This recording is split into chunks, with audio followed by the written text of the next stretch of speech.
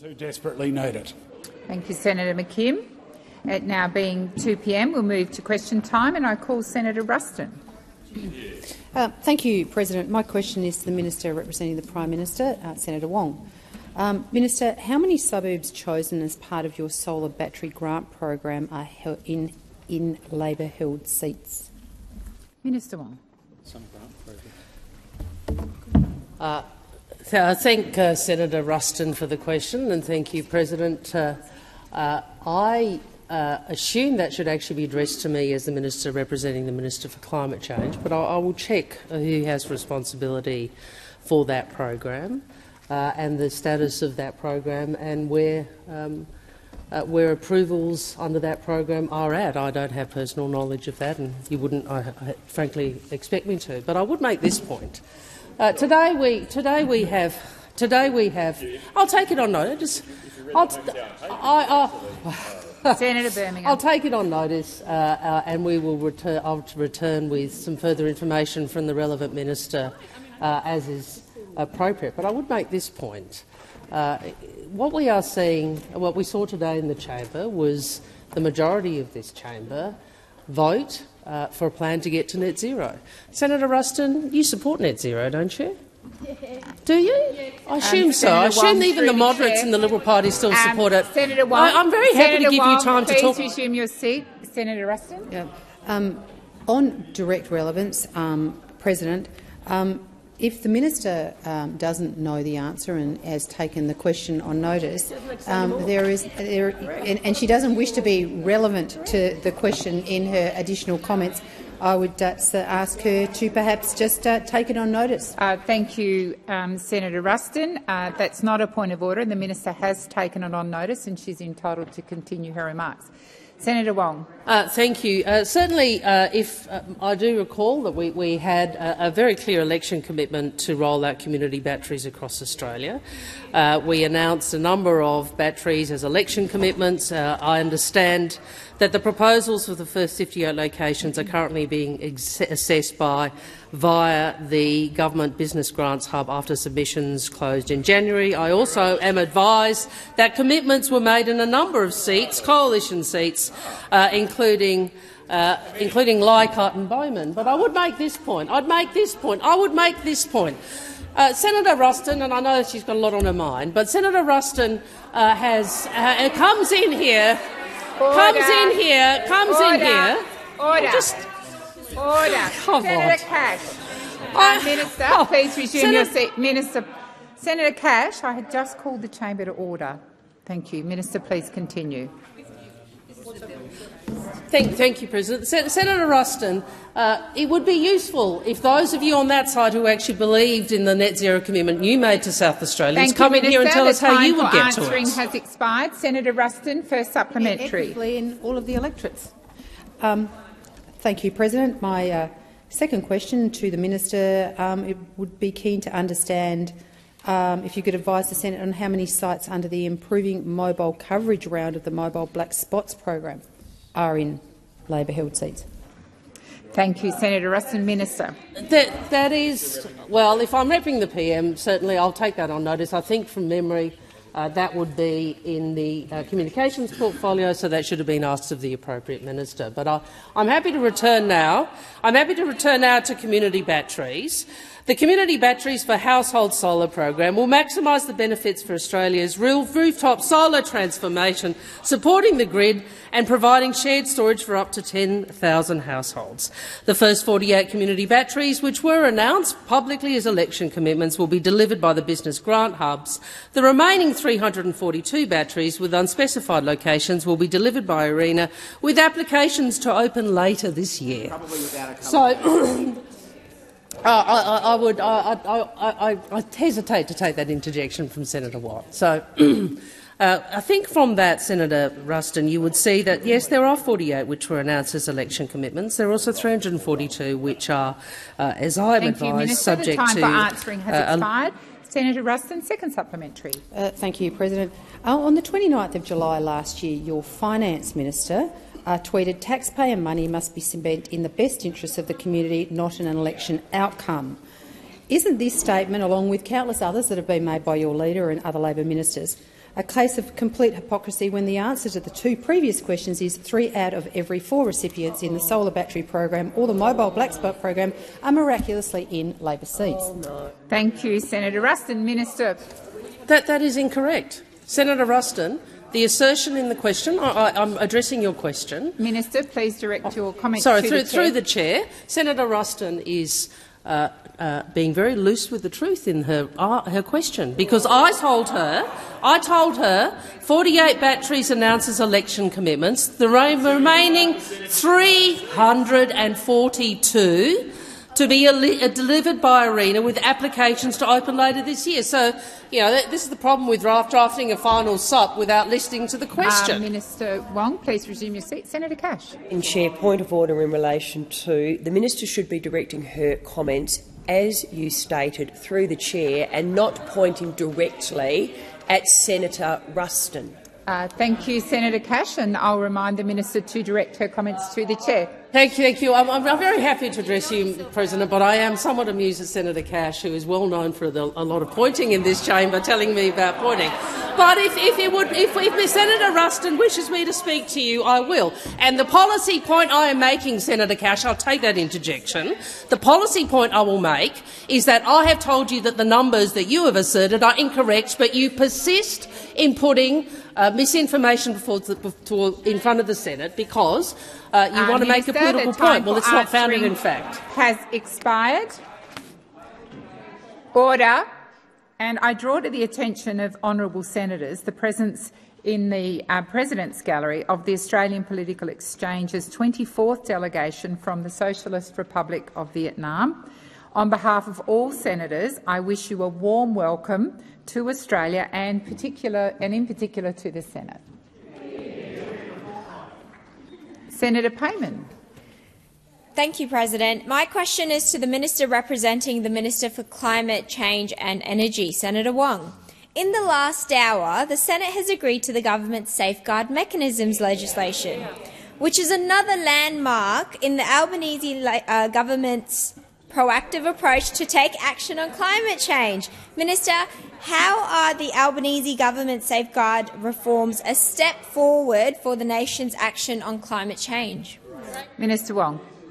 Uh, well, I thank Senator Payman for her question, and I thank all of my colleagues on this side, uh, the Greens and members of the crossbench, who supported uh, this historic legislation. And one of the things that those opposite, and I know they are fools returning to their folly over and over again, uh, one of the things that those opposite uh, seem not to have understood is the Australian people at the last election returned a parliament, not just a government, but a parliament uh, supportive of action on climate change. And those opposite are still stuck in the fights of years past. And in fact, uh, I, I, listened to some of the debate which Senator McAllister had it so extraordinarily well. Yeah. Uh, and I thought, yeah, I, I remember this. I remember Senator Joyce uh, standing down there asking the same questions. Uh, uh, you know, I remember uh, Senator, uh, the then Senator Macdonald.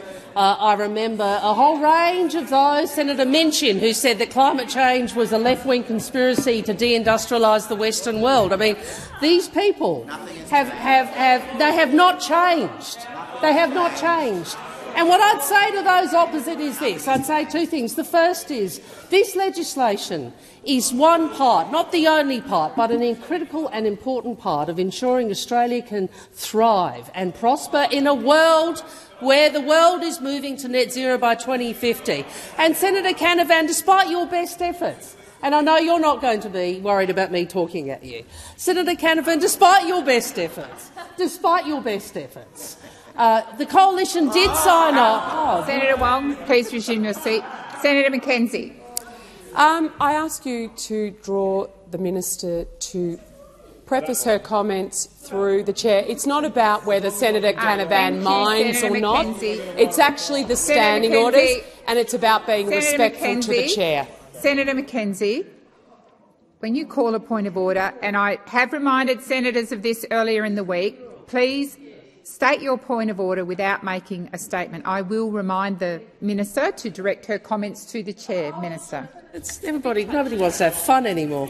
Um, Mr. Uh, President, uh, as Senator Canavan, no matter how much Senator Canavan tried, those in his party still uh, signed up to net zero by 2050. At least that's what they told the Australian people.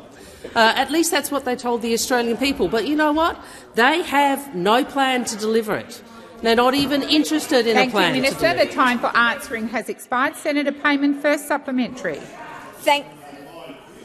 Uh, Senator Payman, please resume your seat. There's too much disorder in the chamber and noise. Senator Payman, please continue. Thank you, President.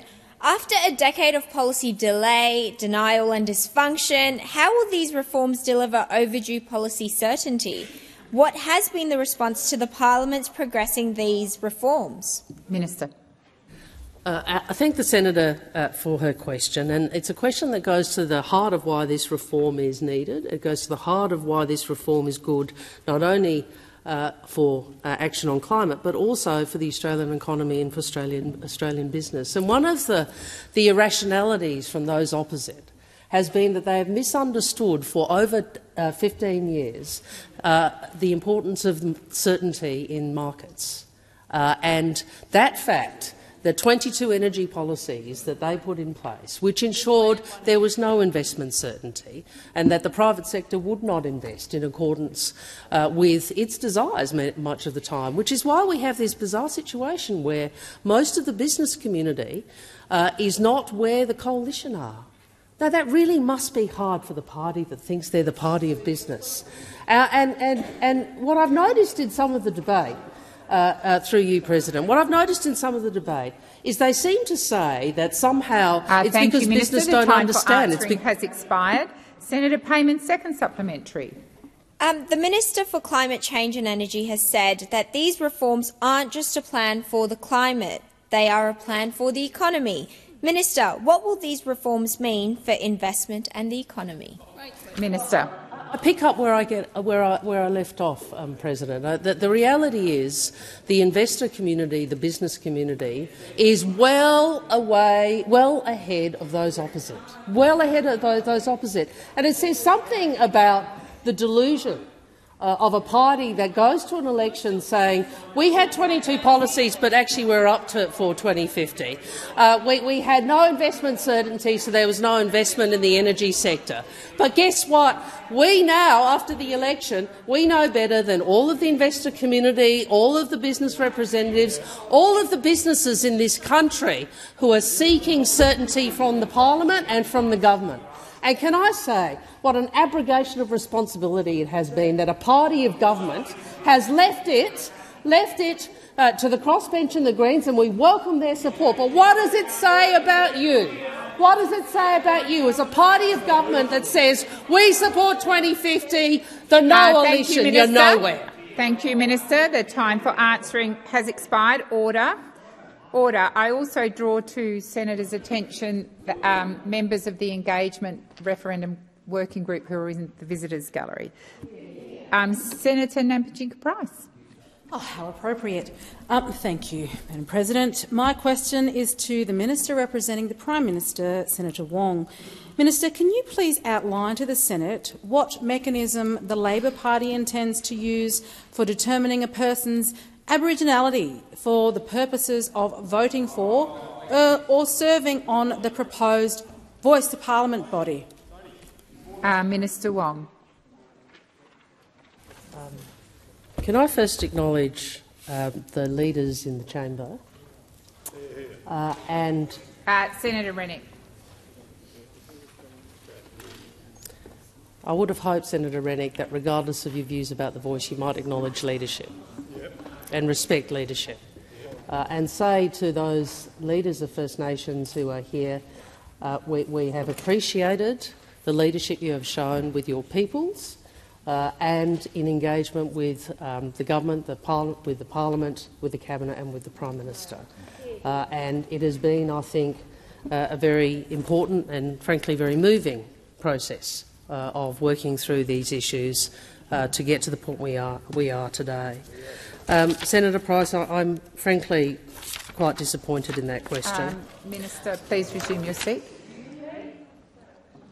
Uh, Senator Cash, I have a senator on her feet.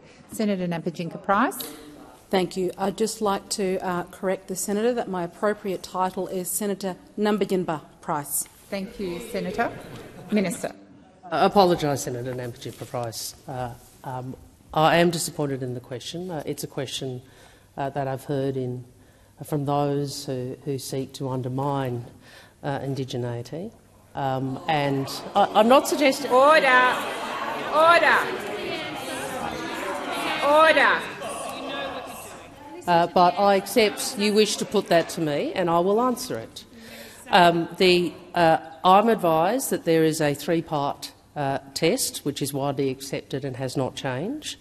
I'm advised that the Australian government generally applies the following common law criteria for the Senator purpose McCarthy. of determining eligibility for First Nations specific service services, uh, and they are that a person is Aboriginal and or, or of Torres Strait Islander descent, uh, identifies as an Aboriginal and or Torres Strait Islander and is accepted as such by the community in which they live or have previously lived.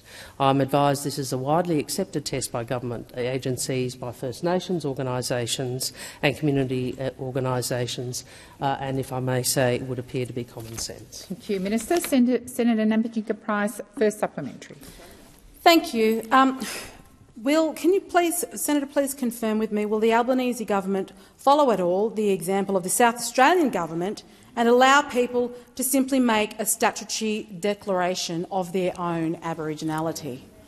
Thank you, Senator. Minister Wong. Um, th thank you, uh, President. Uh, uh, and in, in response, I, would make the point that I, I, I, think I have responded in. Uh, Senator Ruston. Order. Order.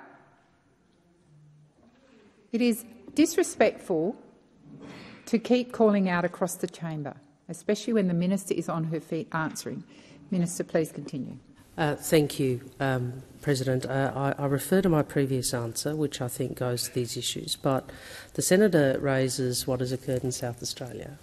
Uh, and uh, in South Australia, there has been, and um, uh, Thomas Mayo and, and, others who are involved, uh, and uh, and others who are involved in South Australia um,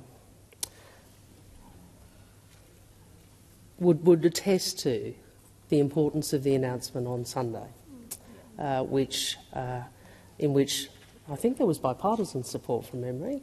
Is that right? Um, for, for uh, and I should, Mr. Agius is here. Thank you for your, your work too. Um, uh, it points to the, the sort of unity across the community the unity across the community uh, that um, uh, this Minister, process, when done well, has uh, expired. Can... Senator Nampijinpa Price, second supplementary. Thank you. Is the Albanese government concerned about people taking advantage of the criteria for establishing Aboriginality? And will they consider strict requirements for those who wish to vote or serve on The Voice? Thank you, Senator Nampijinpa Price. Minister. Again, I've, I've answered uh, the broader. I've answered the.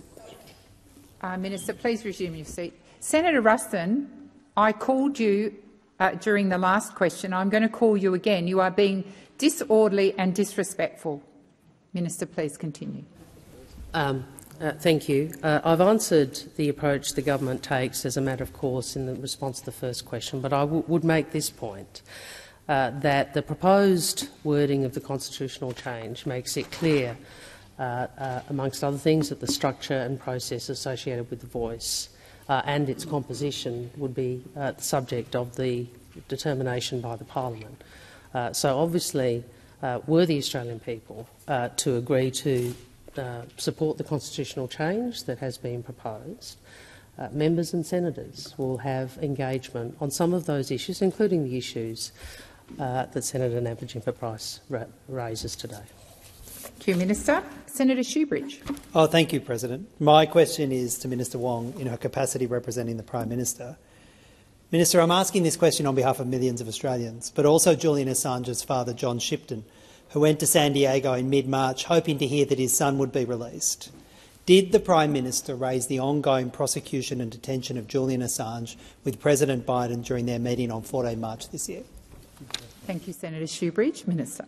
Uh, thank you, uh, uh, and thank you to Senator Shoebridge for his question.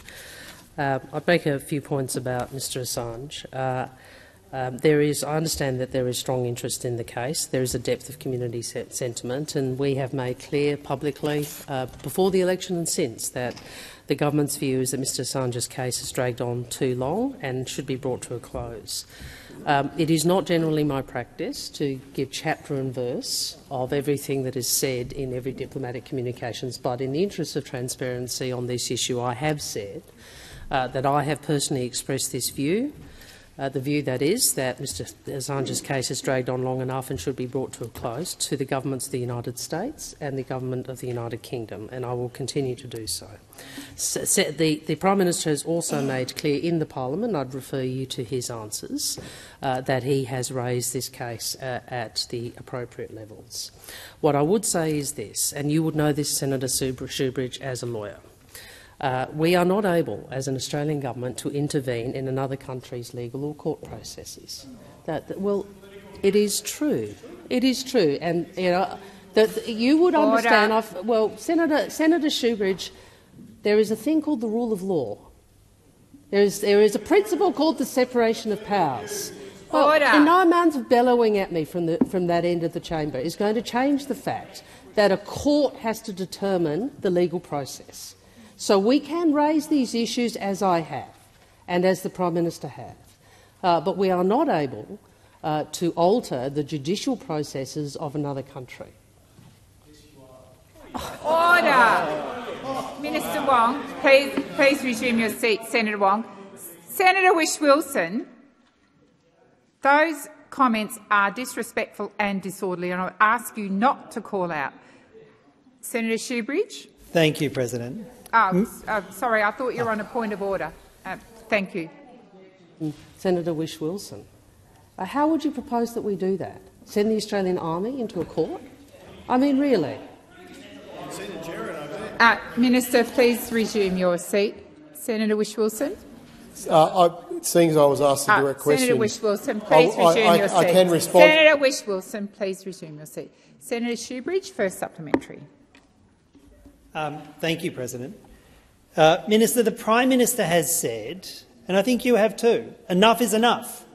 And the Prime Minister said he wants a resolution of this matter, but this, to use his words, requires quiet diplomacy. How could a conversation between President Biden, PM Albanese and PM Sunak, which he was in just two weeks ago, not be the most important kind of quiet diplomacy to use to free Julian Assange? And why wasn't it used? Uh, thank you, Senator Shoebridge. Minister Wong. Uh, uh, that isn't what I said, and you've made a set of assertions there uh, which may or may not be true. And I would again say uh, that we have, at the Prime Minister's level and at Foreign Minister level, been very clear in our views that this matter has dragged on too long and it should be brought to a close. Uh, but I again make the point that there is a legal process uh, which is um, you know, in accordance with uh, the tradition of the separation of powers, which I regard as uh, an important part of democracy. Uh, it is not something that the Australian government can Order. resolve. Having said that, it is, it is appropriate. Um, Minister Wong. Senator Whish-Wilson, I called you to order twice. I expect you to come to order. Minister, did you wish to continue? Uh, uh, what we are doing what we can between government and government, uh, but there are limits to what that diplomacy can achieve. Thank you, Minister. The time until for answering has expired. Senator Shoebridge, second supplementary. Thank you, President. It is a simple question, Minister. The Julian Assange's family are asking, and as Australian citizens they deserve an answer to. Did their Prime Minister ask President Biden to drop the United States prosecution and allow Julian to come home when they met just a few short weeks ago? Please answer Thank, the question. Thank you, Senator Shoebridge.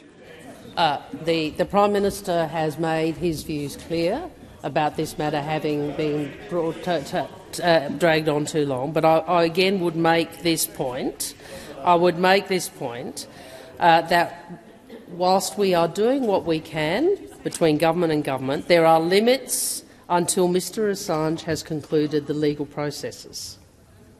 Uh, and uh, I think on no, it is that there are legal processes which are still on foot. Well, Order, which cannot, Senator Rice. And and Order. I, also. Um, Minister, please resume your seat. Senator Shoebridge. Um, thank you, President. My point of order is relevance. My question was about a meeting between the President and the Prime Minister, not about court proceedings, but about a meeting between the President and the Prime Minister. And the, minister, uh, and the Minister is refusing to address it. Thank you, Senator Shoebridge. I believe the minister is being relevant to your question. Minister. I did respond to it, and I'm actually trying to be helpful. And if you perhaps listened to what I'm saying, Senator Shoebridge, what I'm saying to you is that whilstsoever there are legal proceedings on foot, it is very difficult for there to be resolution between governments. I think that is an observation of fact. Uh, well, uh, uh, Minister, yeah, there are some. There Minister, are some countries. Minister, some, please some, resume your seat. Senator Shoebridge, this is not a debate. Senator Shoebridge. Order. Senator Shoebridge. Senator Shoebridge. Order on my left and my right. I've called you to order. This is not an opportunity to debate. There are other opportunities during our sitting for you to make whatever comments you want. You ask the question and you listen with respect. Thank you, Minister. Thank you. I would also make the point, because Senator, uh, the Senator mentioned Mr Assange's family. I have engaged with his family. Thank you, uh, Minister Wong. Senator Sterle. Thank you, President. I've got a ripper for the Minister for Agriculture, Fisheries and Forestry. After a decade of inaction of climate, thanks to those opposite, the Albanese government is taking decisive action to combat challenges of climate change. The passage of the Safeguard Mechanism legislation delivers landmark reforms that will result in the reduction of 205 million tonnes of greenhouse gas emissions to 2030. Minister, why does Australian agriculture support action on climate change? Minister Watt.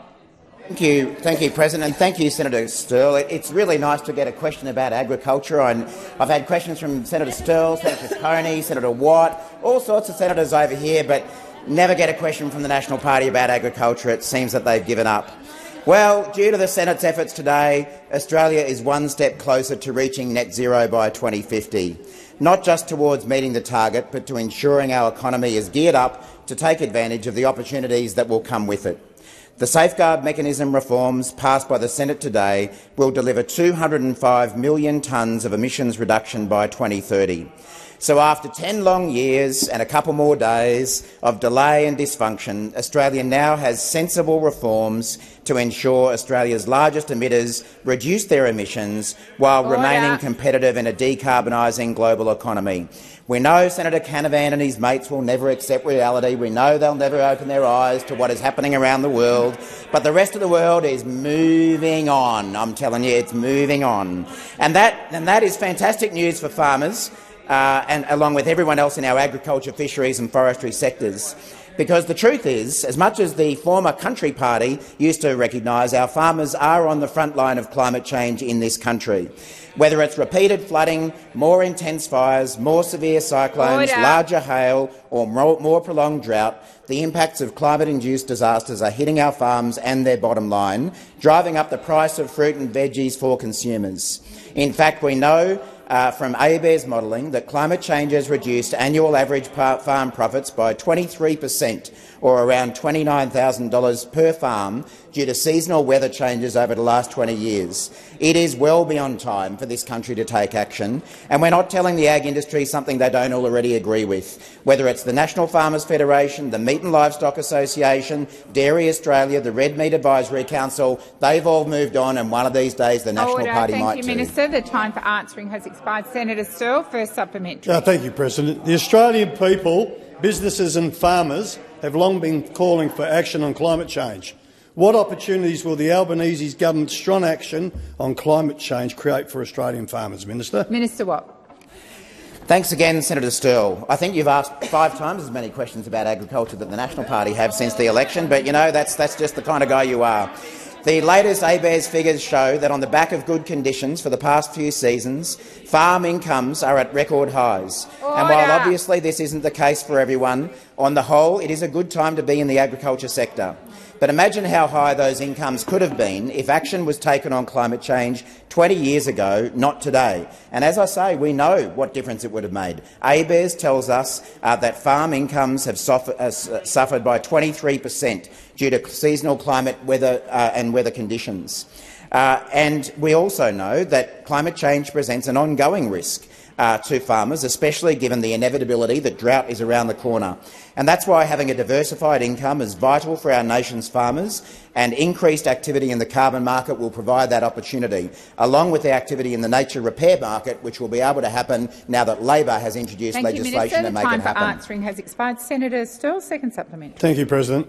Under the previous government, climate inaction was a deliberate policy choice, and as a result we saw increases in emissions. What risk do farmers face if we do not take action on climate change? Minister Watt. Uh, thank you, President. Thank you again, Senator Sterle. Of course, there are long-term natural impacts that come with not addressing climate change, and I see them almost every day in my role as Emergency Management Minister. In fact, uh, of course, I was recently in the Gulf of Carpentaria after the floods there, and there were more media reports this morning suggesting that early estimates from Gulf flooding uh, are that tens of thousands of head of cattle could have perished. And these are the events we will see more often if we don't take action on climate change. But it's not just those economic and environmental, environmental impacts that farmers face as a result of climate change. Uh, it is crucial to our position as a trusted trading partner around the globe that we continue to increase our sustainability effort. Who could forget those embarrassing images of former Prime Minister Scott Morrison giving an empty speech to an empty room at COP26 in Glasgow? Anyone who knows anything about agriculture and trade knows uh, that we need to take more action on climate change uh, to shore up those international Thank markets, you, Minister. and I'm surprised the National Party doesn't get it. Has expired. Senator Tyrrell. Thank you, President. My question is for the Minister representing the Minister for Infrastructure, Senator Watt. With a $240 million proposed to be spent by your government for the Hobart Stadium, you could lift rent assistance for nearly 40,000 Tasmanians by 40 per cent. If those 40,000 people were meeting with you this week, like the stadium lobbyists were, what do you think they'd want you to do? Thank you, uh, Senator Tyrrell. Minister Watt. Thanks, uh, President, and thank you, Senator Tyrrell. I think Senator Tyrrell, despite the very few number of questions you have the opportunity to ask, I think you've asked me more questions than the National Party has since the election as well. Uh, and it's also always a pleasure uh, to answer your questions. Um, Senator Tyrrell, obviously the issue around the Hobart Stadium has been a matter of some uh, debate within the Tasmanian community. And having spent some time in Tasmania, I know that there are very strong views about this on both sides of the debate. Uh, our government is working with the Tasmanian government around this proposal. Uh, of course, the Tasmanian government, I think on the whole, are, are strongly supportive of it, but we're very conscious uh, that there are a range of views uh, on this topic. Um, but, Senator Tyrrell, I guess what I'd put to you is that um, wherever we end up on the issue of the Hobart Stadium, it doesn't mean that we can't also be taking action when it comes to rental affordability uh, and the housing pressures that Tasmanians are undoubtedly under. Uh, the, I can take you through some of what we're doing about, about rental affordability, Order. but in the end, the answer to rental stress is a sustained boost to the supply of homes to rent uh, and a substantial investment in new and affordable houses. Uh, and Senator Tyrrell, you won't be surprised to hear me say then that the best thing the Senate can do is back the Housing Australia Future Fund. Uh, I'm, I'm, actually not across, Senator Tyrrell, what your position is on, on that issue, uh, but I certainly know what some other Tasmanians who you're sitting right near over there, what their view is on it. Hello, Senator Whish-Wilson. Uh, and it'd be a really good thing if Senator Whish-Wilson, Senator McKim uh, and every other Tasmanian senator joined with the government to back the Housing Australia Future Fund so that we can have that investment uh, in affordable housing, in social housing, in housing Order. for veterans, Order. in housing for domestic violence victims uh, in Tasmania and in every other part of the country. It is odd that we have the Greens and the Coalition joining together as the new coalition in Australia uh, to you, block affordable housing thank you, investment. Um, order. Order. Senators Brown and Duniam. Senator Tyrrell, first supplementary. Thank you, President. So the Hobart Stadium's own business case says the project will lose $2 for every dollar it makes. When the project itself is telling you it's going to lose all of your money twice over, and you think that represents good value, what's your argument against raising the rate of job seeker? Uh, Senator, uh, Minister Watt.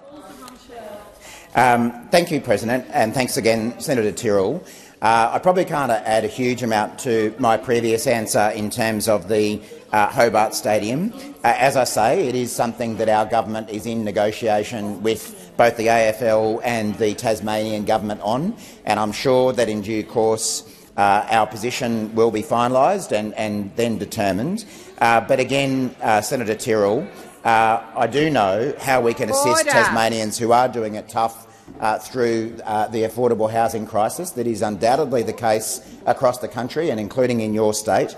Uh, and I know, Senator Tyrrell, that, um, that you are a strong supporter of greater investment in social and affordable housing, uh, and that's something that we would, of course, like to continue working with you on. Uh, all I can do is say that the best solution uh, that we have before us is a policy that the government took to the election to create this Housing Australia Future Fund and can get going as soon as the Senate passes it to build Thank that you, housing. Minister. The time for answering has expired. Senator Tyrrell, second supplementary. Thank you, President. Budgets are about priorities. You could build 2,900 homes in Tasmania with the funding slated for the government spend on the Hobart Stadium. This would be enough to give every single homeless Tasmanian a place to call home. What's your government's priority? Put in a roof on a stadium, that retracts, by the way, or put in a roof over their heads? Thank you, Senator Tyrrell. Minister Watt. Uh, thank you, uh, Senator Tyrrell, again. Well, of course, any, any budget that the federal government brings down uh, undertakes and provides funding for a broad range of activities. And I'm very confident uh, that when this budget is finalised, and I know Senator Gallagher in particular has been putting a huge effort into framing it, it will deal with a number of really important challenges that Australians are facing, whether it be in Tasmania or elsewhere around the country. Uh, of course, assisting people with cost of living relief will Order. be a real centrepiece of this budget, uh, and, and uh, providing more investment in housing will be as well, provided we can get that legislation passed. Uh, now, Senator Tyrrell, um, I think I'm, I'm, sure you're aware, but we are already taking action on, on affordable housing in Tasmania.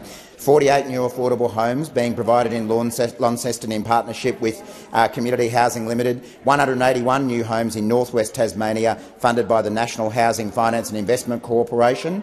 Uh, so there's a lot of action happening. We know there needs Thank to be you, more, Minister. and that's the what that housing fund's about. has expired. Senator Birmingham. President, uh, President, my question is to the Minister for Trade, Senator Farrell. INPEX is one of the most important foreign investors in Australia. Shortly before question time today, INPEX's global CEO, Takayuki Ueda, spoke at an event hosted by Resources Minister Madeleine King. Ueda-san said in his speech, and I quote, about the government's gas market policies that we are concerned that market intervention will only compound the situation of price challenges. Price intervention is likely to discourage investment in exploration and production, while simultaneously driving up demand. The energy policy environment in Australia today appears to be driven almost by ideology and domestic concerns, that the investment climate in Australia appears to be deteriorating. I asked Senator Farrell, as the minister responsible for investment, how much does the government believe its interventions will reduce investment in Australia, and does the Albanese Labor government accept responsibility for the deterioration uh, you, in Minister. Australia's investment reputation? That time for asking has expired. Minister Farrell. Uh, zero. Um, zero is the. Uh, no, no, zero, zero impact on our um, uh, relations relations with. Uh, yeah, zero. Yeah, zero. There, seriously, zero. Zero is the answer.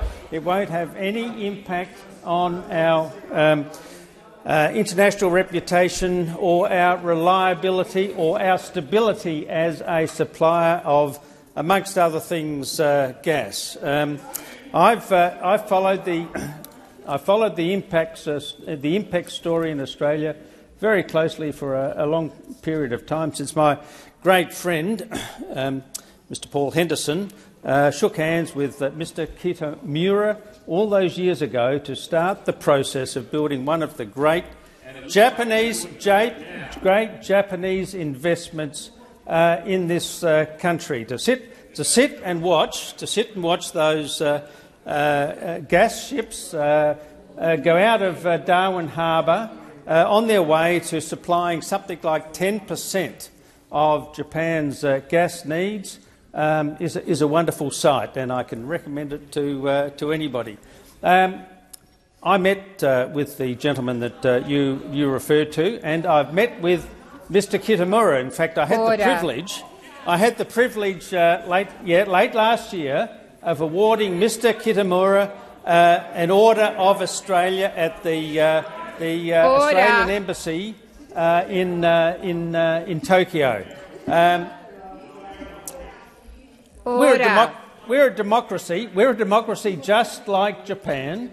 And companies in Japan can express points of view that don't always agree with, uh, with, the, uh, uh, with, with, the government of the day or, in fact, uh, other business. Uh, Thank you, Minister. Business the time for answering has expired. Senator Birmingham, first supplementary. Ueda-san also said that, quote, Australia is competing for global investment and the changes we are seeing to Australian policy settings will choke investment and strangle the expansion of LNG projects in this country. The consequences of these well-intentioned policies will be the increasing energy demand in our region will be met by coal and not by natural gas.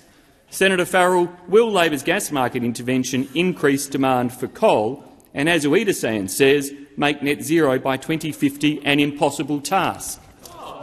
Uh, thank you, Senator Birmingham. Minister. Thank you, President. Thank you, Senator uh, Birmingham. No uh, is the answer to that. Uh, no is the answer to that question. Um, we are making sensible decisions in the interests of Australian consumers. Now, now, after 10 years of doing nothing about these sorts of issues, you left, you left the electricity system in a complete uh, Minister mess. Minister Farrell, please resume your seat. Order on my left. Calling out, shouting out is disorderly, and I'd ask you to stop.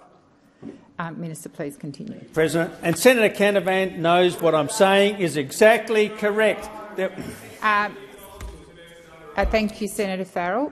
Um, Senator McKenzie. Uh, point of order, Chair. Going to Odgers' explanation to the rules of debate around Standing Order 193, ministers are to direct their uh, comments through the chair, and Senator Farrell was yelling and pointing at Senator Canavan rather than respectfully answering uh, the question you, through you. Senator McKenzie. Let me first of all remind all senators that shouting out across the chamber, Senator Canavan, Senator Canavan, shouting out across the chamber is incredibly disorderly.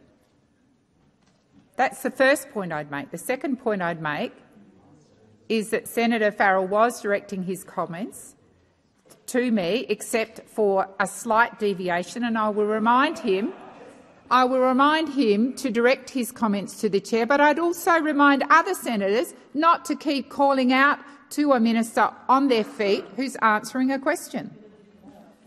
Minister Farrell. Thank you, President, and thank you for that protection from uh, Senator uh, Canavan.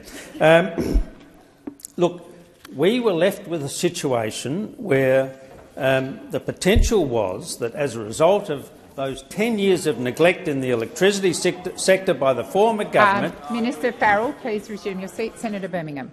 Point of order on direct relevance. The question actually related to the gas market interventions, and particularly the question went to the observation by one of the largest foreign investors in this country as whether those interventions would increase demand for coal.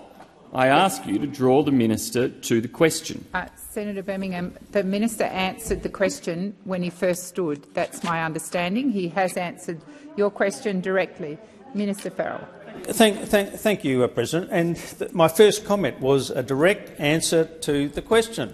And I don't, with all due respect to um, uh, INPEX, I don't agree with their assessment of the situation. Now, Thank you, Minister. The time for answering has expired. Senator Birmingham, second supplementary. San also said, quote, on the geopolitical front, Australia's quiet quitting of the LNG business has potentially very sinister consequences. The question of who will replace Australian supply in the market is front and centre. Alarmingly, the inconvenient truth is most likely that Russia, China and Iran will fill the void." End quote.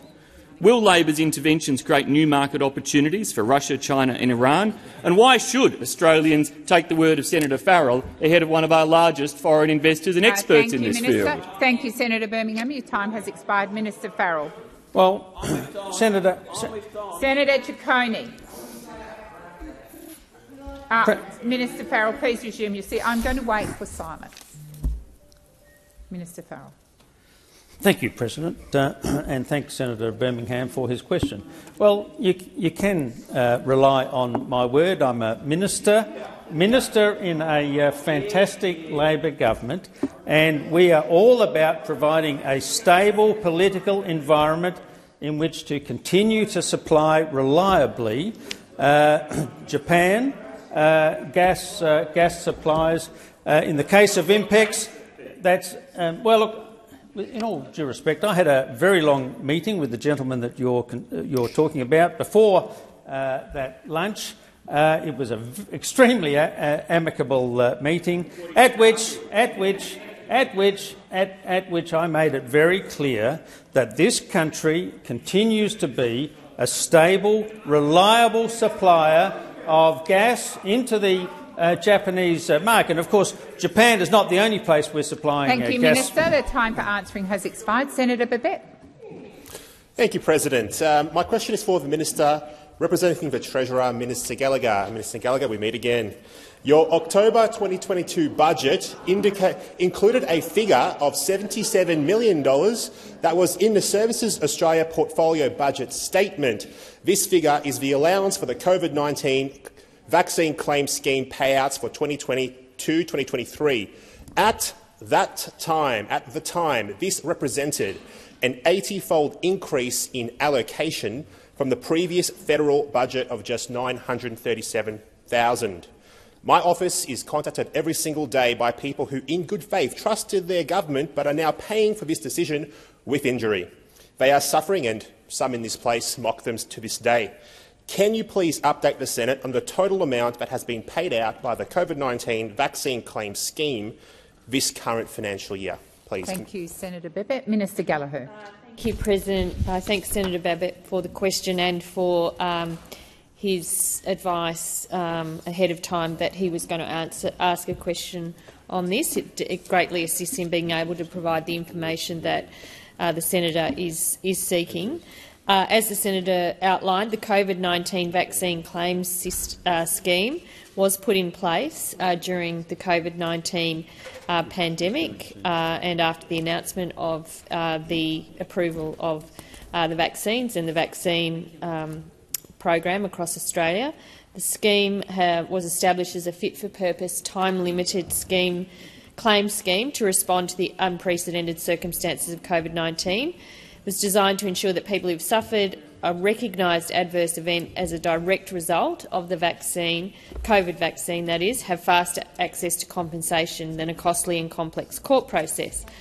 Uh, it is for uh, there are seven recognised clinical conditions which are eligible under the scheme, uh, which I can go through. But in, in specifically in relation to Senator Babet's question, it's right there was a provision of um, $77 million uh, made. Um, total expenditure as of the 28th of March 2023 is in the order of $7.2 million.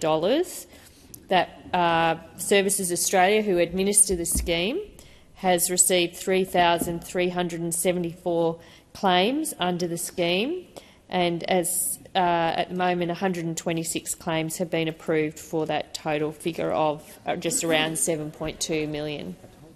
Thank you, Minister. Senator Babet, first supplementary. Thank you, Minister. Now, the TGA's most recent report shows that they've received 137,970 reported adverse events following COVID vaccination.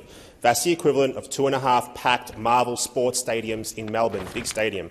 It appears that, that the number of claims will continue to grow. Minister, uh, what amounts will your government be allocating to this scheme in the next budget, in the upcoming thank, budget? Thank you, Senator Babet. Minister. Uh, thank you, um, uh, President. I thank Senator Babet for the supplementary. Um, my, my understanding of the TGA's uh, adverse events report is that they report against a range of um, possible um, si you know, serious side effects from lesser serious to more serious, uh, as listed under the adverse events, and not all of those would necessarily be eligible for a claim through this scheme. But in the event uh, that um, there was increased demand, it is a demand-driven scheme. Um, that is, you can make certain provisions, but if there were um, you know, we would meet the costs of the applications, the successful applications that met the terms of the scheme and those seven conditions, the seven recognised clinical conditions which are eligible under the scheme. So it isn't really a question of whether we have enough money. It's a demand-driven scheme and those, that compensation would be paid. Thank you, Minister. Senator Babet, second supplementary. Thank you, Minister. So obviously we've paid billions to pharmaceutical companies and in return Australians have been slogged with a huge compensation bill to pay for uh, vax-injured people. What options does the government have to make these companies responsible and pay for the, pay for the injuries that they created with a crappy product? Thank you, Senator Babet. Minister. Uh, thank you, um, thank you, President. Thank you, Senator Babet, for the supplementary. Well, I don't agree um, with the characterisation of the COVID-19 as a crappy product. Um, it has successfully vaccinated um, millions and millions of Australians and significantly uh, decreased the chance of serious disease, uh, particularly on vulnerable um, individuals. So I don't accept that. Uh, as to the commercial arrangements with the pharmaceutical companies, I think if people remember at the time, because the vaccine was developed in a relatively short period compared to others, um, there were commercial discussions about how to manage um, schemes and claims like this, uh, but I can't go into those details. They are commercial in confidence. Senator Babet, second supplementary. Oh, done that. Sorry. Uh, Senator Marielle Smith.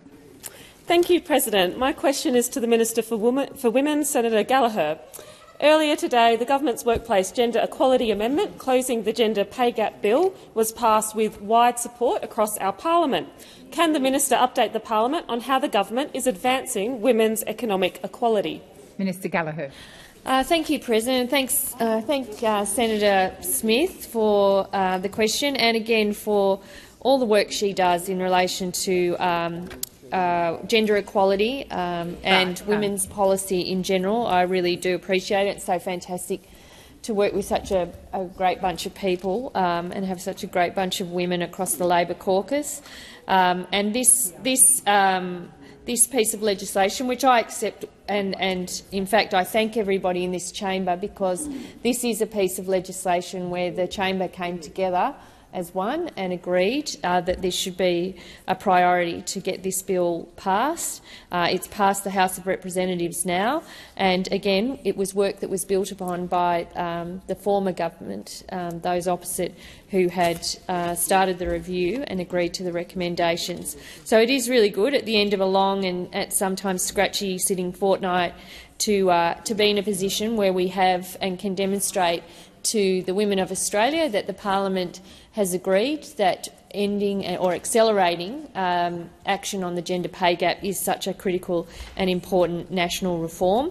The bill that passed the House this morning uh, is going to change things. It is going to ensure that at a business level, um, where there a gender pay gap exists, that that will be reported and people will be able to see that. It's important from a transparency and accountability um, reason, but it's also about driving the reform that's needed to close the gender pay gap. There is absolutely no reason why uh, men and women uh, performing the work, the jobs that they do in in, in businesses should be paid uh, differently uh, for the same type of work. And we know that this has an, a huge impact on gender equality and women's economic uh, independence or women's economic equality as well.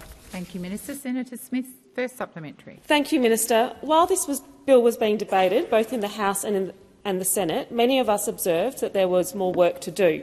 Can the minister provide an update on the government's plans to continue to improve gender equality?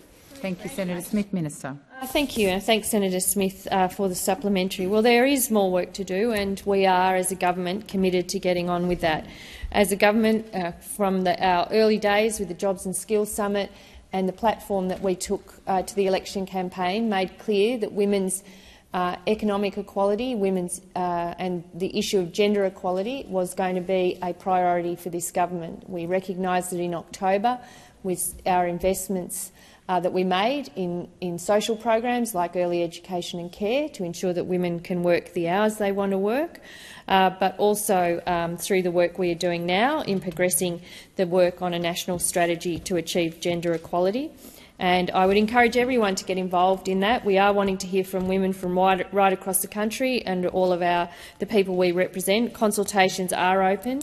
Um, to have those conversations in your communities, uh, with your neighbours, your families and friends about how we can make Australia a leader in the relation to Thank gender you, Minister. equality. Senator Smith, second supplementary. Thank you, President. Can the minister outline how we can all contribute to improving gender equality? Thank you, Senator Smith. Minister.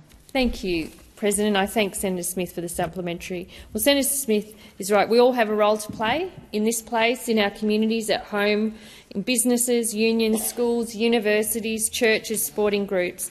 Uh, wherever you are, we can work together and make women's uh, economic equality and gender equality will make us a better country. In this place, we can help drive that change by getting around the table, working together, as we've done on the bill that passed the parliament today. We know that there's a lot more work to do. Uh, we've been delivering um, some of those important um, additions or investments into driving this change through cheaper childcare, through 10 days paid family and domestic violence leave, boosting paid parental leave, through our gender-responsive budgeting and in the first budget in nearly a decade that casts a gender lens over the budget. We've got the National Plan to End Violence Against Women and Children, a wage increase for aged care workers where 96 per cent of them are women, National Women's Health Thank Advisory you, Council. I could go on, President, but my expired. Thank you. Senator Cash. Thank you very much. My question is to the Minister representing the Prime Minister, Senator Wong. Uh, last week, in your absence, Minister Farrell was asked to name anywhere in Australia where electricity prices had gone down since the Albanese government was elected. Minister Farrell did not name anywhere, but did say, I don't follow electricity prices closely enough to be able to answer that question. Minister Wong, do you follow electricity prices more closely than Minister Farrell? You wouldn't have said that. Uh, Minister. Are you more in touch than Order. Uh, I, I always think it's uh, a very dangerous thing when, I'll take the interjection from Senator Birmingham, when politicians tried to uh, compete about these things. But what I would about being in touch, that is, because we're all politicians, aren't we? But uh, I I think we understand very acutely the cost of living pressures facing Australian families. And uh, Senator Ruston. We understand very acutely the cost of living pressures facing Australian families. Uh, uh, obviously, inflation has driven, uh, for a whole range of reasons, has driven increases in costs. People are feeling it uh, at the supermarket, and they're feeling it uh, in, in terms of utilities and services. Uh, and that is why, well, you know, that is why those of us on this side, uh, along with the Australian Greens and others, voted voted uh, for price relief uh, uh, for Australian families. So every time someone from the, the, the other side comes Order. in here and tells us about energy price relief, let's remember they voted against energy price relief. That is what the coalition did. You voted Order. against the price cap for coal and gas. You voted against uh, uh, a, a mu- but three billion in targeted bill relief for businesses and households most in need. You vo- voted against a 12-month price cap on uncontracted gas at $12 a gig- gigajoule and a 12-month price ceiling on domestic coal for New South Wales and Queensland. And then you have the gall to come in here and talk about who's out of touch. Well, no one who is in touch with Australian families and what is happening on cost of living out there would have had the temerity to come into this chamber and vote against price relief for Australian families. Order. So if you want to talk Order. about who's not in touch, have a look in the mirror, Order. mirror Senator Cash. Um, Senator Cash for a supplementary. Uh, thank you very much. And Minister, can you name anywhere in Australia where electricity prices have gone down since the Albanese government was elected? Minister. Well, I know that everywhere in Australia is probably going to would have had higher prices were you in government. Exactly. Uh, that's what we do know, uh, uh, and we know that prices have risen by less than they would have as a result of the government's policy, which you voted against. Order. and Order. You know, those opposite not only not only did they vote Order. against price relief, Order. not only did they vote against price Senator relief, Wong. they also think that the way you deal with energy Senator price. Wong. Order. It is not appropriate for the noise levels to go. Senator Birmingham, I've called the chamber to order. It is not appropriate for the noise level in here to get so loud that the senator can't hear me calling her to order. It is not appropriate to shout across the chamber on both sides. I would ask senators to listen respectfully. Minister, please continue. Uh, thank you. Not, not only do they think, uh, those opposite, uh, President, think that an answer to rising prices is to vote against price relief. Yeah. They think an answer to rising prices is to hide them. Yeah. Hide them.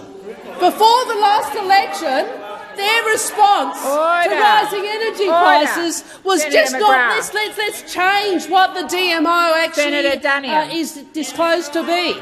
Uh, that's what Mr Taylor did. Well, we on this we on this side Order. Uh, understand what families are facing, and we're trying to do something Thank you, about it. Minister. Your time has expired. Senator Cash, first supplementary. Final supplementary. Why hasn't, Minister, the Prime Minister, delivered on his promise to reduce electricity bills by $275, a promise that he made 97 times prior to the election?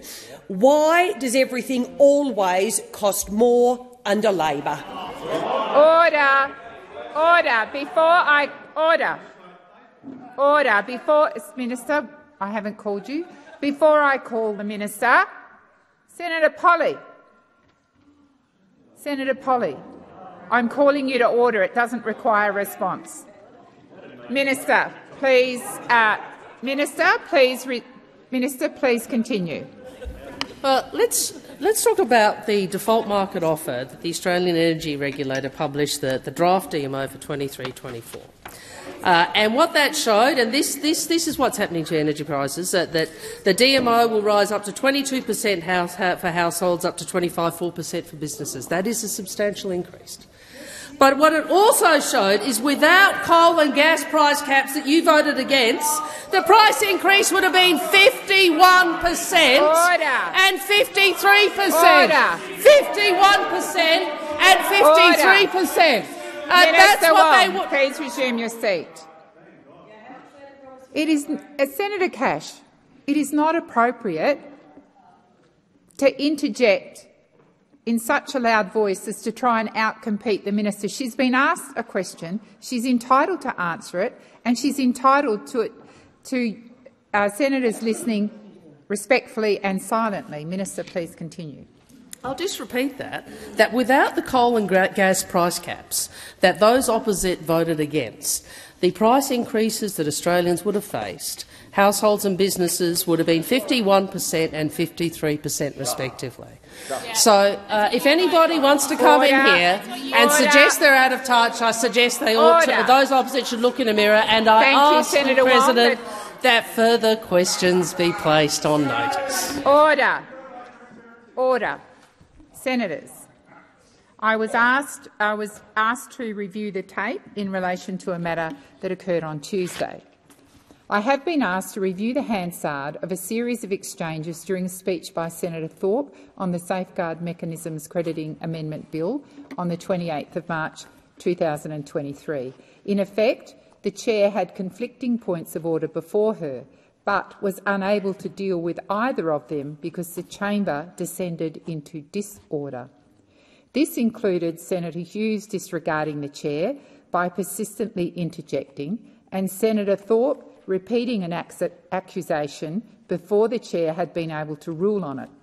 It is unacceptable that senators continue to disregard the authority of the chair while points of orders are raised and determined.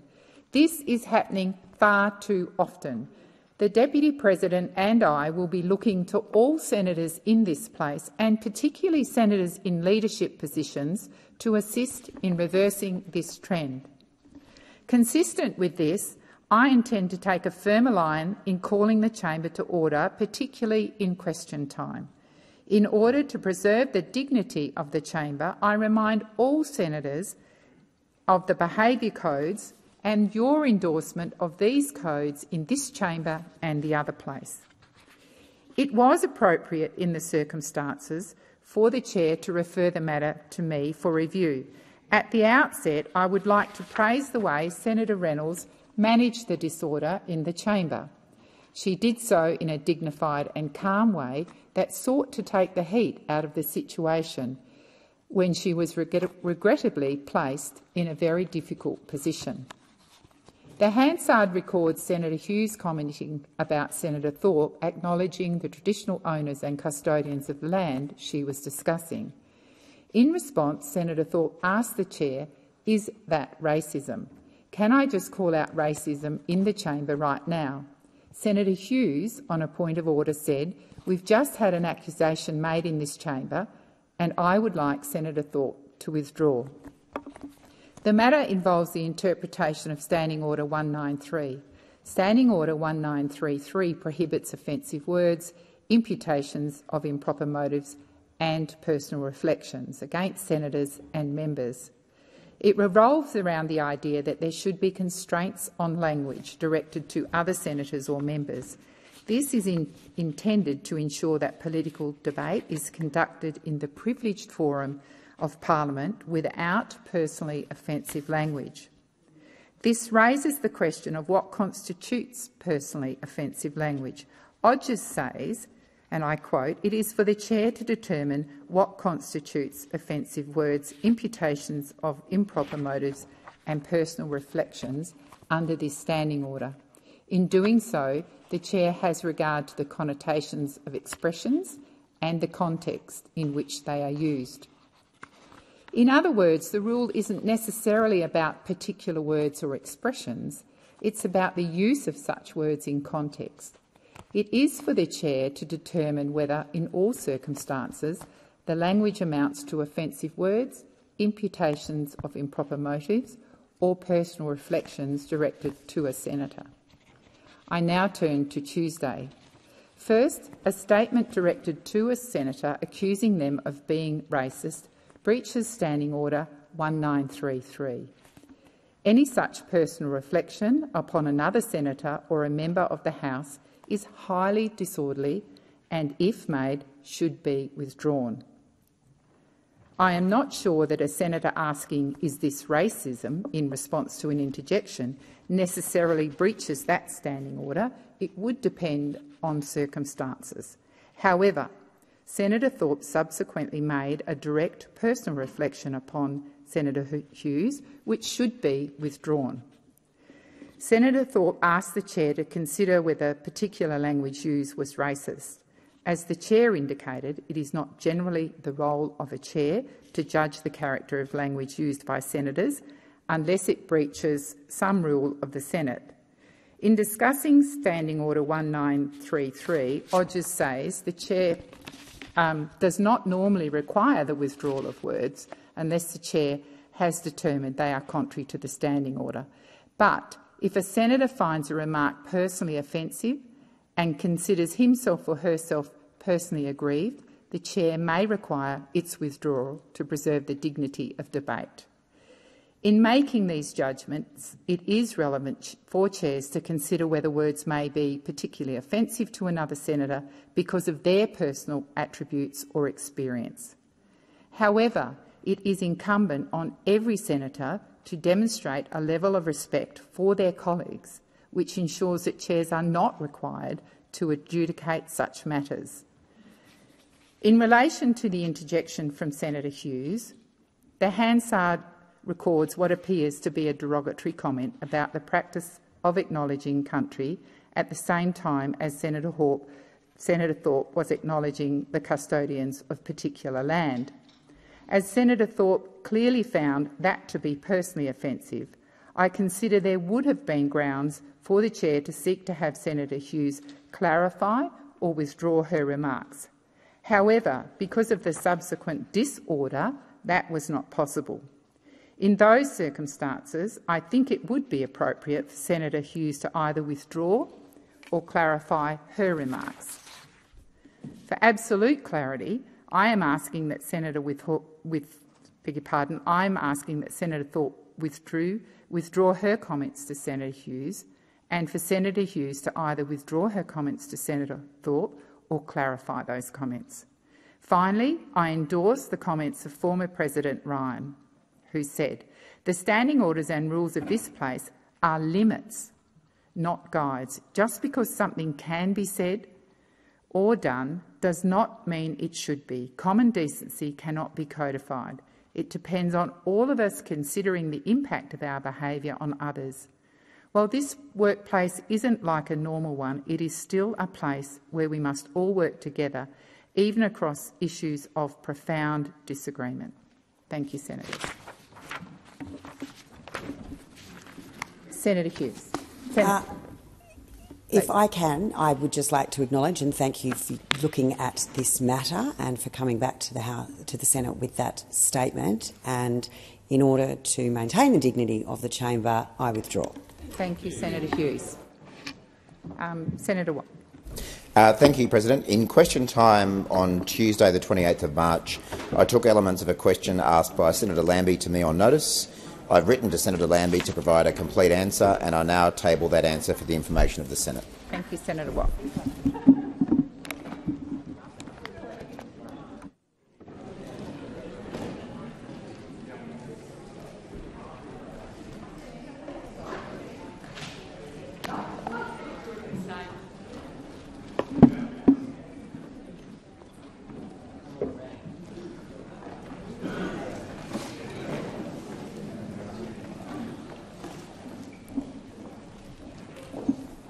Senator Brockman.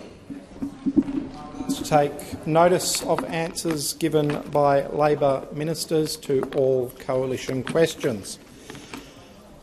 Well, I mean, I'm not sure if the jury was out before uh, Shadow Minister Birmingham's question to Minister Farrell about whether he was the worst trade minister ever, but now the jury is certainly in. I mean, the fact that he can say, when you have the global chair, Ueda-san, of INPEX, talking in this place, talking in the Australian parliament about the damage the Labor government has done to our trade relationship with Japan, and he just blows it off. He just acts as though that speech never happened.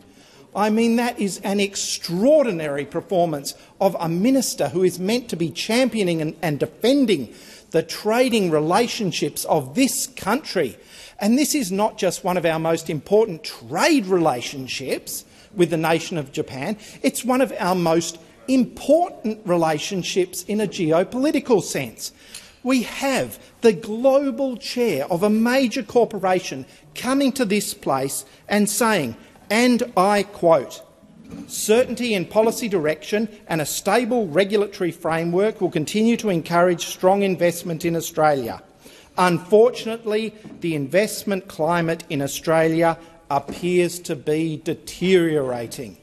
Now, I think everyone in this place would agree that the Japanese, in cultural terms, when they're speaking diplomatically, consider every single word they say extraordinarily carefully, every single word they say.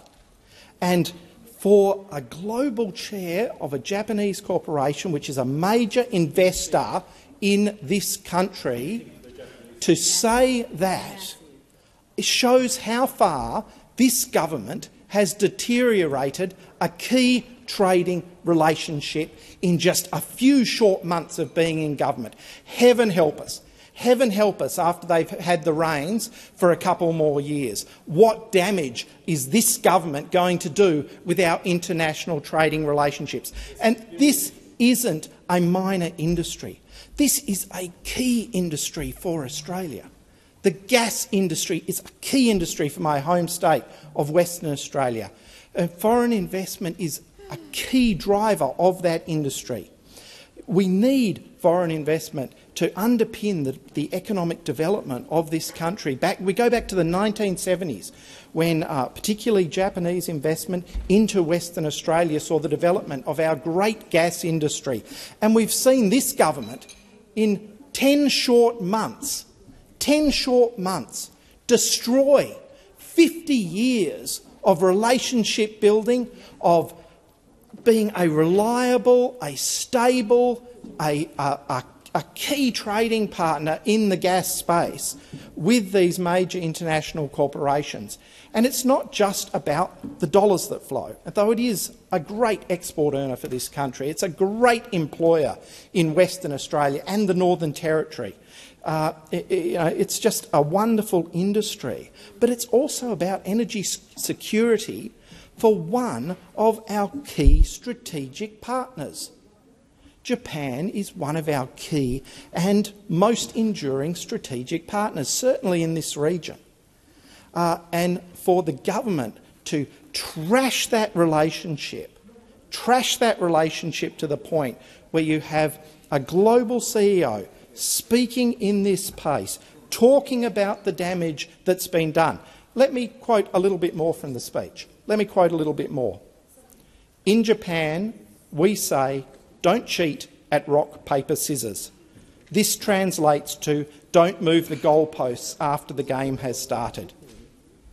Here we have one of our key trading partners saying that we, Australia, is cheating at rock, paper, scissors.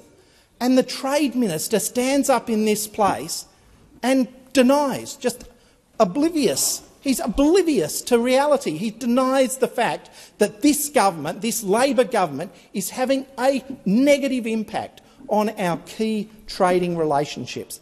And they've got form. They're damaging key trading relationships in the Middle East through their decision to ban the live export sheep trade. They're damaging our relationship with Japan, Taiwan, South Korea. These are key relationships. Senator Grogan.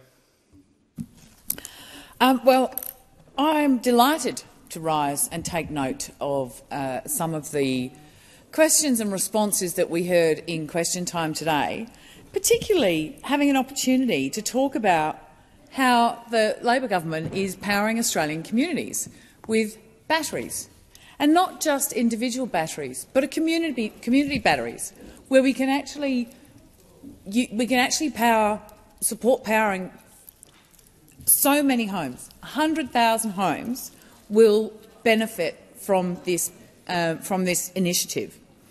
There are uh, 400 batteries to roll out, and they will power entire communities. They will help entire communities to lower their electricity prices, which I'm very, very proud of. One in three Australian households have solar panels, but very few have batteries. This community approach to powering our homes is going to make a big difference out there. Um, and these things will help us get to net zero. Now, there were a number of questions in question time today that went to the issue of net zero. It was mentioned on a number of occasions. And when I look around this chamber, we know that the majority of people in this chamber, in the Australian Senate, are right behind the idea of net zero. And although it would be difficult to, uh, to have seen on the face of it, following the last couple of days of debate around the safeguard mechanism, there are even some people on the coalition benches that believe in net zero. But you wouldn't have thought it if you'd been listening to the conversation in here over the last number of days. But that is where we need to get to, and the safeguard mechanism is another element that is going to help us get there. The safeguard mechanism that passed this chamber earlier today. After 10 long years, 10 long years of having so much uncertainty, so much uncertainty, and the safeguard mechanism, when put in by the coalition when they were in government, did nothing to reduce emissions, and its entire intent is to reduce emissions. But it did not. Emissions went up. And you'd have to ask yourself, why was that? And I think it was probably because um, there was no intention to do it in the first place. Set up a mechanism and then set your baseline so high, so high, that nobody's coming down, which totally goes against the grain, totally goes against the intent. So, I'm delighted that today this parliament has passed that bill and the safeguard mechanism will kick in on the 1st of July. And as we saw last year when the 43 per cent target was legislated in this parliament, we saw investment go up. We have seen organisation after organisation come and, and talk about how much the certainty matters, the importance of certainty. So the whole thing about moving the goalposts, well, let's put the goalposts in the ground first, shall we? And the goalposts in the ground about where we're going and how we're getting there has seen a tick up in investment. So, we know that with the safeguard mechanism, 80 per cent of the organisations that are captured 80% of those are actually already committed to net zero. So they've made that commitment. You know, over 80% of them made that commitment, along with the majority of people in this parliament.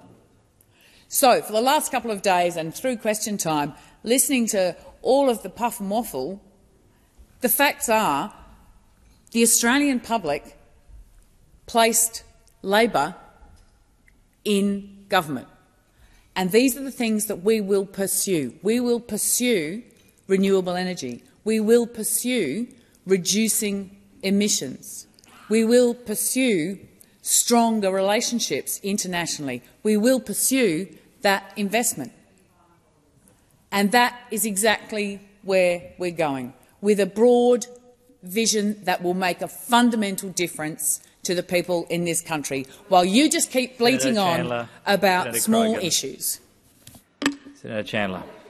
Small issues. Goodness gracious me, um, Deputy President. I, I, I, honestly thought I'd heard it all um, this week and, and, over this last sitting fortnight, but for Labor senators to be um, describing the cost of living crisis as just a small issue um, really does take the cake at almost 3.30 on the last Thursday on the last Thursday of the sitting fortnight. Um, and look, I think um, many Australians listening into Parliament over the last fortnight wouldn't have been particularly impressed by some of what we're hearing. Um, it's been another Another week, another sitting day, more broken promises from the government, more dirty deals to get their legislation through this place um, because we have a government that is just unable to deliver on the commitments that they made during the election. Um, they promised to cut electricity bills by $275. They promised Australians cheaper mortgages. They promised there would be no changes to superannuation, and they promised that Australians could expect to see their cost of living expenses go down. But um, since then, we've just seen the complete opposite of all of those things, um, things occurring. It's just rank hypocrisy from the government. And, and this week, and, and I note um, in Senator Ruston's first question um, in question time today, this week we've seen yet another one. This was a government that promised uh, transparency and accountability and integrity and all of these things, um, the, these commitments that they made to the Australian people um, in the lead up to the election last year, they, they promised to be a, a government of integrity. And yet we now have a situation where it has come to light that the uh, mobile black spot program, um, which has been used to great effect previously to um, support local communities with necessary communications infrastructure um, is now being used to direct funding to um, a number of seats that are all Labor-held seats. 27 out of 27 grants in New South Wales under this funding stream went to Labor seats. Um, there were only three locations selected in Victoria. They went to Labor seats. Um, the minister has directed that 40 out of the 54 chosen sites in the most recent uh, mobile black spot program, $40 million round, are going to locations in Labor seats. This was a government that promised that it was going to do better. This was a government that promised integrity and transparency and accountability. And quite frankly, Deputy President, I just don't think that that is what um, transparency and accountability and integrity looks like. But like I said, um, this is just another one in the long list of broken promises from this government that is just piling up and piling up and piling up. Uh, it is amazing how fast the Prime Minister Anthony Albanese changed his tune from when he was telling Australians that their lives would be easier under a Labor government during the election campaign to then being in government and systematically going back on key election commitments he made. At one point he even stated, and I quote, if you make a promise and a commitment, you do have to stick to it. Well, it sounds like stating the, the very obvious. Um, but the Prime Minister hasn't really stuck to his word, has he?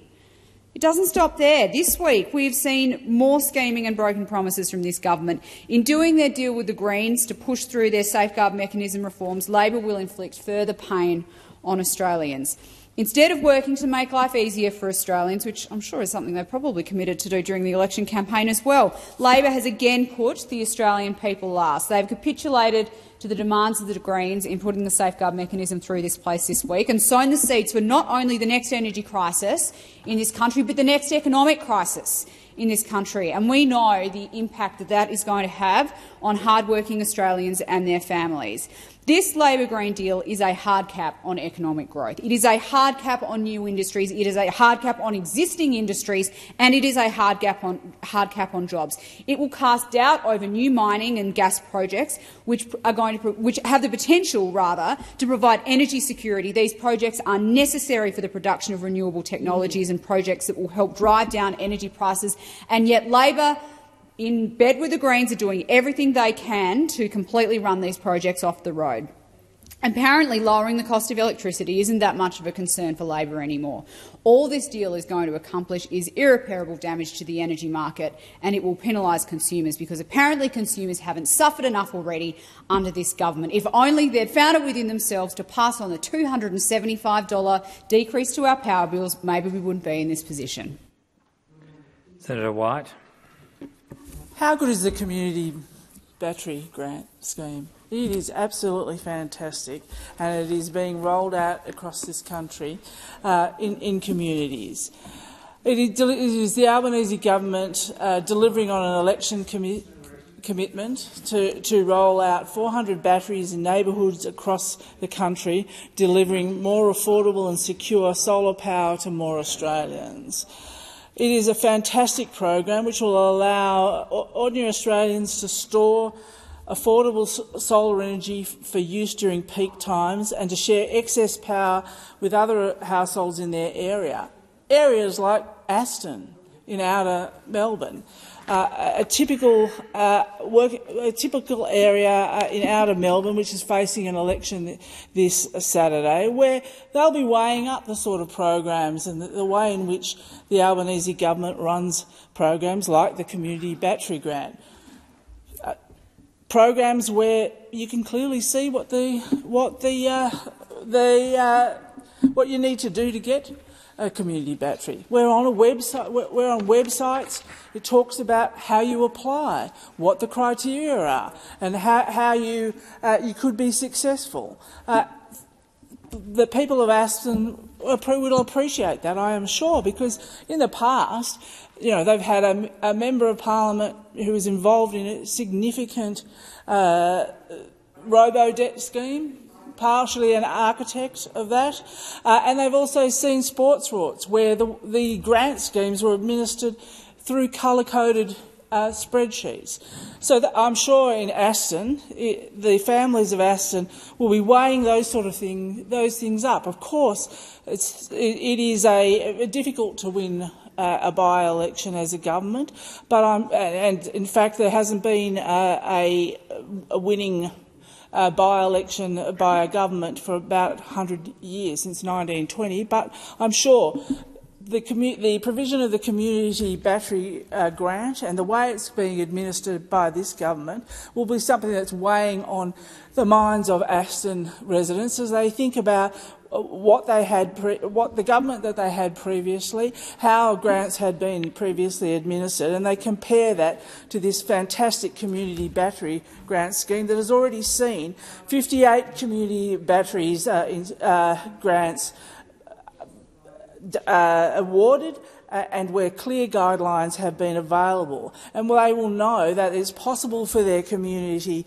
to have these batteries, uh, the, these battery grants. They know that they, they will be offered by an, a group, the Australian Renewable Energy Agency, ARENA, and you know, there will be a program to deliver the rest of those batteries, the, three other, the 342 other batteries uh, that the government has committed to, uh, which will be done with stakeholder uh, consultation and will be done with clear guidelines that people can follow and they can see tra the transparency of uh, how they are delivered.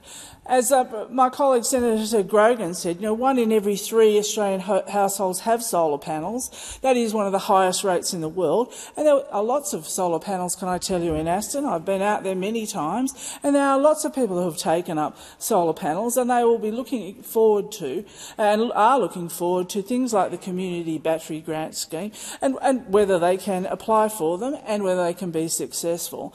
And really, community batteries uh, are, are going to allow the storage of energy and sharing with others, so your neighbours, and, and, you can also install roof, you know, it's not just rooftop solar.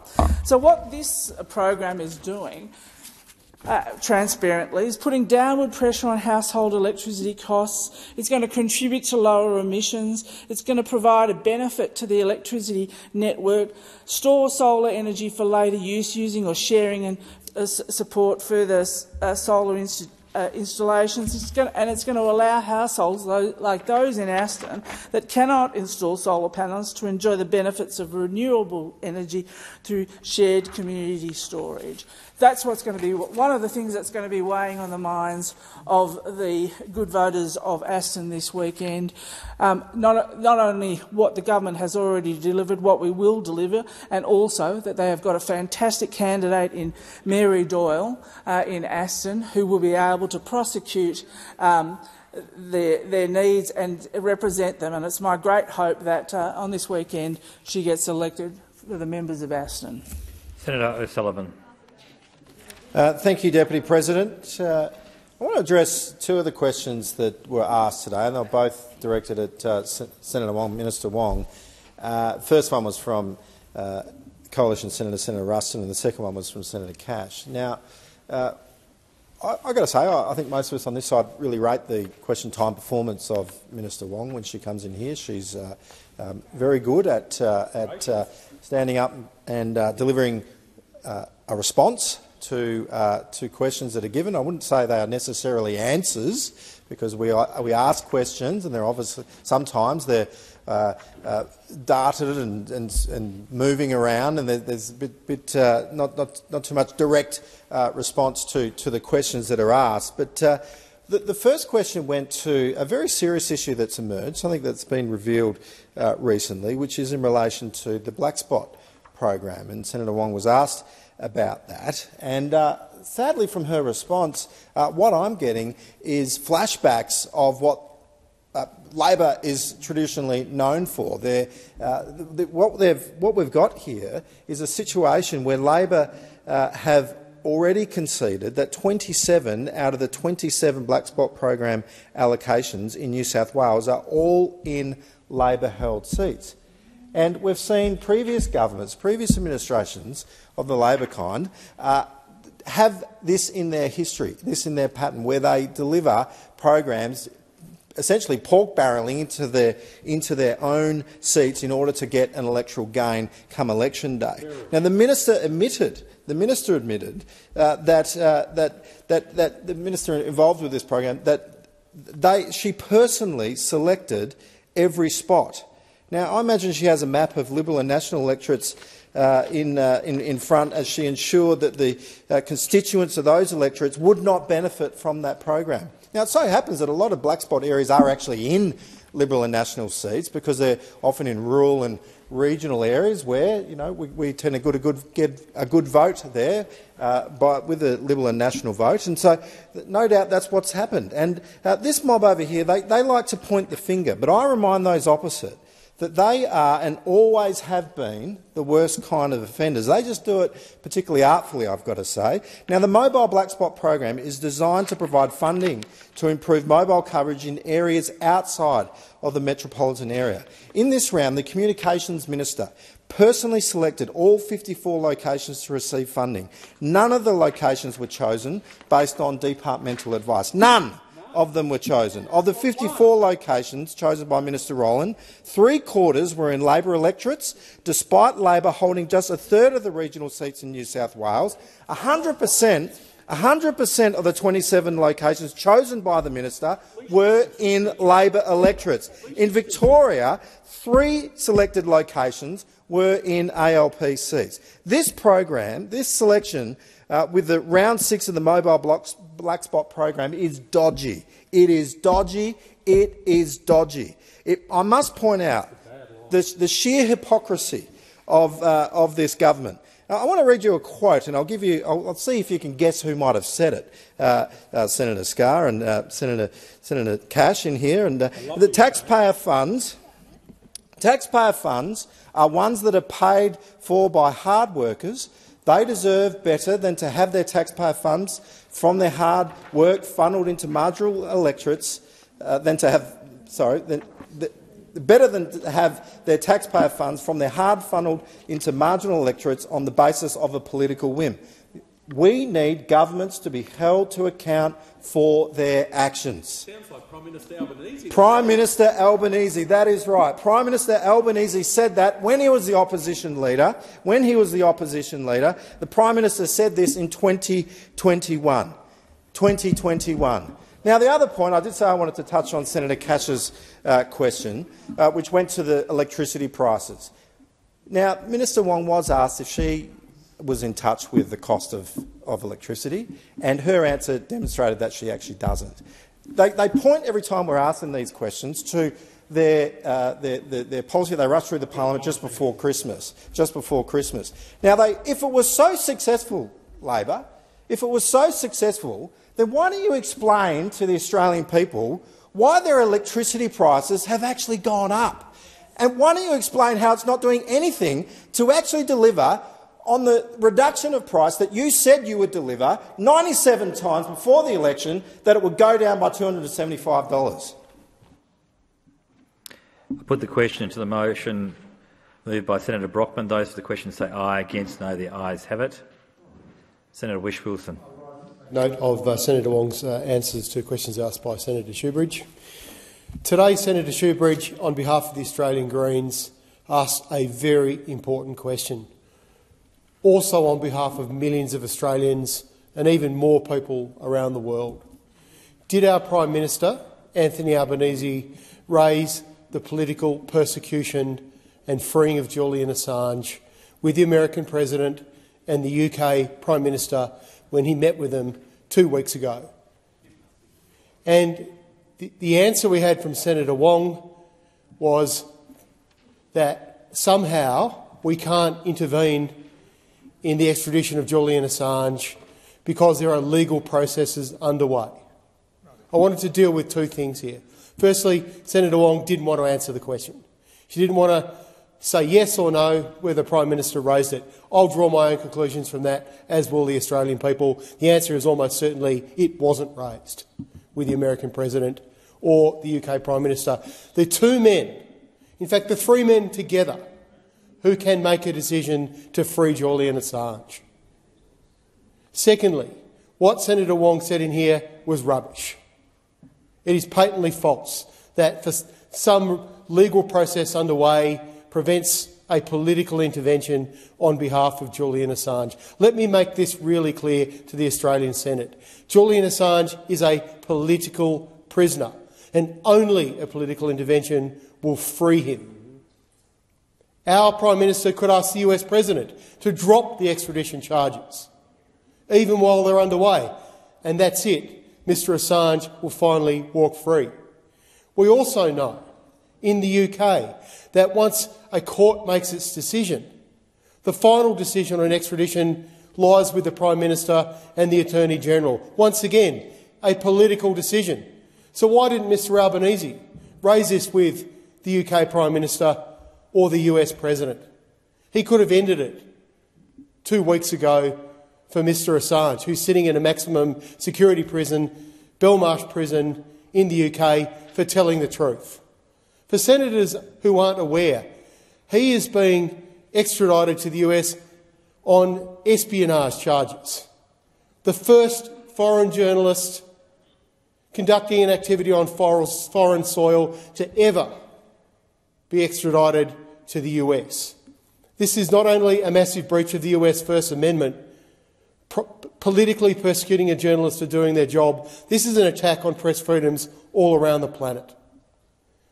The stakes couldn't be higher around the extradition of Julian Assange. And once again, the Australian Greens will stand up in the Australian Parliament for Julian Assange, for his family, Mr John Shipton, who continually comes into Parliament and tries to get meetings with members of Parliament, who works with the Parliamentary Friends of Assange Group. And I'd, not, I'd like to acknowledge the work that the Parliamentary Friends of Assange Group do on behalf of Mr Assange, right across the political spectrum, not just here in Australia, but in parliaments uh, all around the world, these groups are forming. And as Senator Wong did acknowledge in her question today, there is a very strong public sentiment in this country to free Mr Assange, an Australian citizen, a publisher who was just doing his job. Senators, we can't let this stand on our watch that an Australian citizen is seeking his freedom for doing his job and our government does nothing. Mr Albanese said he agrees enough is enough and wants to see Mr Assange released. Senator Wong has expressed similar sentiments, and they've called for quiet diplomacy. And as my colleague Senator Shoebridge asked so well in here today, why are we not putting the question when the three men are together behind closed doors? That couldn't be, there couldn't be a better example of quiet diplomacy than those three men discussing the freedom of Julian Assange. So Australians will be very disappointed if Prime Minister Anthony Albanese didn't raise this, and unfortunately it appears from Senator Wong's non-answer to Senator Shoebridge's question today that this issue wasn't clearly enough of a priority for the Prime Minister. So the campaign goes on to keep putting pressure on the Prime Minister and President Biden in the US and the Prime Minister of the United Kingdom, Prime Minister Sunak to free Julian Assange. And I call on all Australian people who care about democracy and press freedoms to, to continue to push their MPs to bring Julian Assange home. I put the question that the motion moved by Senator Whish-Wilson be agreed to. Those for the question say aye. Against no, the ayes have it.